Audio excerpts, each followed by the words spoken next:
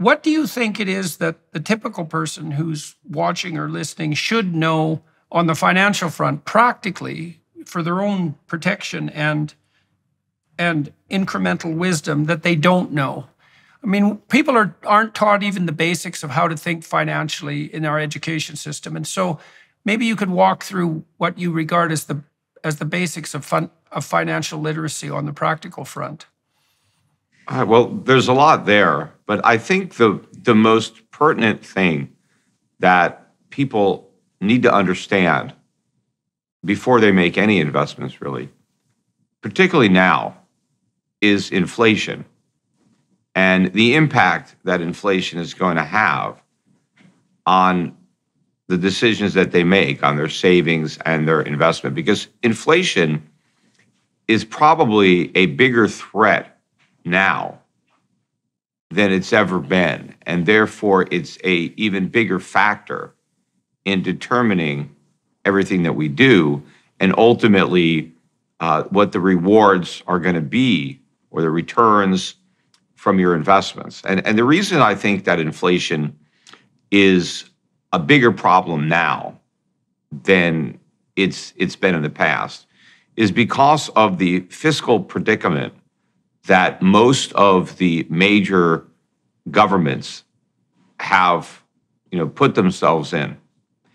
And the fact that all politicians unfortunately and this is a, a, a fatal flaw in democracy is that politicians first and foremost care about themselves and their own political career and their own reelection. That's what they do for a living. They are career politicians. And so, you know, like anybody else, you know, they're they're they're, you know, concerned about perpetuating their career. And most people who are in politics, they really enjoy it. I mean, they they they, like all the perks that come with it. Uh, you know, you get a lot of uh, you know respect if you're you know United States, you're a congressman, you're a senator. Uh, you know, it, it, it's it's a it's a career that a lot of people would would aspire to. And once you get there, you know, once you get to Washington, and I'm sure this is true in you know every you know country in Europe and all around the world, that you know you, you like it, right? You like the lifestyle, you like the prestige that comes with being a government official. So you want to stay there, right? Well, how do you stay in office? Well, you got to keep getting elected. You know, in the United States, you know, we get elections every two years, right? So politicians are are very concerned about, you know, the polls. And they're constantly got their finger in the air, seeing where the winds are blowing. And they, they don't want to say anything or do anything that might jeopardize their reelection. And of course, one of the most important things that you need to get reelected is you need a lot of money. You need to spend money on advertising, on television, which is expensive. And so you tend to cater to donors, um, whether it's a corporation or a, a, a, you know a union, anyone that can provide a lot of money. Uh, you need to do things that are in their interest. And so, what is usually sacrificed by these politicians is the national interest. Doing what's right for the country is secondary to doing what's right for themselves. And also, in order to be successful as a politician, you have to be a really good liar. And that's probably why a lot of lawyers go into politics because lawyers, you know, they're paid to lie. I mean, you have to argue your client's case even if you know they're wrong, right? And you have to put on a defense or whatever it is and and so lawyers are generally pretty good liars and so they they they they, be, they become politicians. Because if you're honest and you tell the truth, you're not going to have a career in politics. You're, you're just not going to, even if you manage to get elected telling the truth, you're not going to stay in office telling the truth. So you got to lie.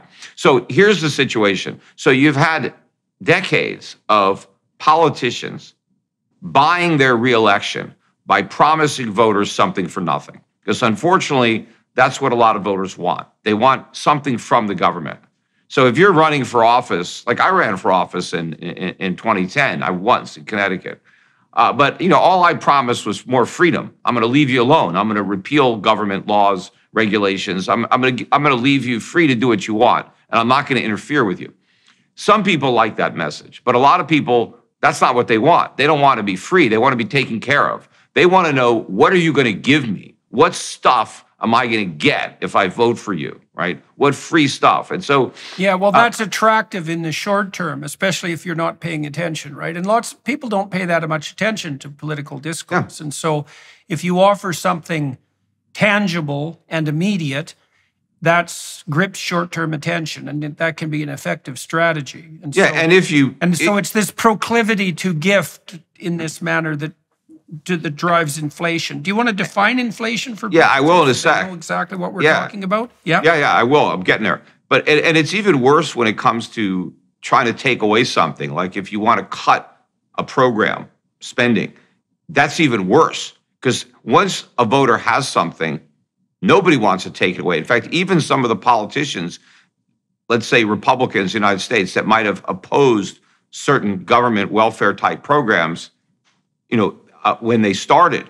Once they're in place, even those people won't vote to take them away. That's how how a danger it is. So the situation is you've had all these politicians who have promised so much stuff that the taxpayers can't deliver. And of course, when politicians want to give voters something, they don't want them to pay for it. So they want to spend money, but they don't want to raise taxes because governments don't have any money. They only have the money they take. They have to take money from the people in order to give money back to the people. And, and so if the government's taking your money, that you don't like. So with paper money, which unfortunately we have now fiat currency, where governments don't need gold, real money, they could just create paper money out of thin air, right? They could just ma- manufacture it digitally, and, and there it is. That enables governments to spend without collecting taxes. They run these large deficits and they're able to print the difference and hand out that money so they can give people money without also taking the money away. And now they don't mind taking money away from rich people because you know there's not as many of those, right? So they don't lose as many votes. Although certain rich people can uh, donate a lot to their campaigns, which often you know uh, prevents the taxes from from getting too high. But inflation, right, you asked for the definition. Inflation is really just another tax because governments create inflation. And inflation is also probably one of the most misunderstood words in the English language, and deliberately so. I think governments around the world kind of led the campaign to redefine inflation. So if you go back to the origin of the word, and if you if you have a dictionary, even from the 1980s, a Webster's dictionary, you'll get the real definition of inflation. So, inflation is an expansion of the money supply. That's all it is. Deflation is a contraction of the money supply. So, if you even think about the word inflate, inflate is to expand. Like a balloon. If you if you fill a balloon with air, it expands. So with inflation, what's being expanded is the money supply. And who expands the money supply? Governments.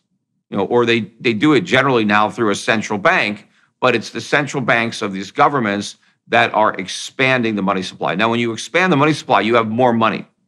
Well, if you have more money, but you don't have more stuff to buy, well, the price of everything goes up. That's just basic economic supply and demand. The more money there is, the less each individual monetary unit is worth. And now prices go up. Now, what governments have done is they've said prices going up. That's inflation. No, it's not. That is the consequence of inflation because prices don't expand, prices go up and down as a result of inflation. Now, what happens is sometimes prices don't go up, but you still have inflation. And that's because without that inflation, prices would have gone down. And if prices don't go down because government creates inflation, that still represents a loss to the people because they lost the benefit of lower prices. Because in capitalism, the tendency of capitalism is to reduce prices. That's why it's so good because you keep coming up with better ways of producing, more efficient ways, economies of scale. If you look at the CPI, for example, in the United States in, in, in 1800, and then you look at the same CPI in 1900, and they have the data. Prices were cut in half. You had a 100 year period where you had deflation or you know the money or prices falling for 100 years. Uh, and that was a good thing. You know, all the politicians now tell us that we need prices to go up, that we must have inflation, you know, the way they define it of 2% a year. Why? Why do prices have to go up every year? Why can't they go down every year? Isn't that better if stuff gets cheaper? You know, if the cost of living goes down, of course it is. But these politicians are trying to sell this lie to the public that rising prices are somehow necessary for prosperity. That if prices don't go up. Okay, so let me sum up. Let me sum up what you've said. So the first thing you said that I think is worthy of note for people to remember is that the price of something is a function of the ratio of the money available to the goods available. And so if you make money twice as available, then things cost twice as much. And that's and then you defined inflation you defined inflation in that regard. You said inflation isn't prices going up, inflation is the value of money going down. And so it isn't because things are becoming more expensive, it's because there's more money chasing the same amount or fewer items. Now, you could imagine an inflation in a particular sector that would emerge because that thing has become more scarce. But general inflation is a reflection of the inflation of the money supply. Right. And then you it, said, it, well, here's here's the let me just finish the summary. You said there's drivers of that inflation of the money supply. And the basic driver is that because we have a fiat currency that isn't pegged to something um, permanent, let's say, like gold, and because politicians can create money by printing it, they're incentivized to do so because they can offer people who aren't paying much attention cheap gifts for nothing. And the fastest way to pay for that, because they don't want to raise taxes, is to increase the money supply. And then you might say, and this is where we could bring this home to land, is well, what's so bad about that is that we defer our expenses into the future. People get more free stuff from the government. There's a bit of a tax, that's the inflation tax, let's say, but all in all, the system works pretty well. But you started this whole discussion by saying the biggest threat to the financial integrity of people, individuals over the long run, is inflation. And so, why does that pose the cardinal danger to long term financial security and prosperity for people? Yeah, well, first of all, it's not it's not working well. That that is the problem. It, it, it worked much better when we had honest money. When we were on a gold standard, uh, if governments wanted to spend money, they needed gold. And where did they get it? They had to collect taxes because they couldn't create the gold. It needed to be mined. And, and, and so it was an honest system and it, it, and it was disciplined on politicians. Now, the politicians don't want to be disciplined any more than, you know, teenagers want to chaperone at the prom, right? So, you know, they want to, they want to do a lot of stuff that the chaperone won't allow. And so gold uh, was keeping politicians in check.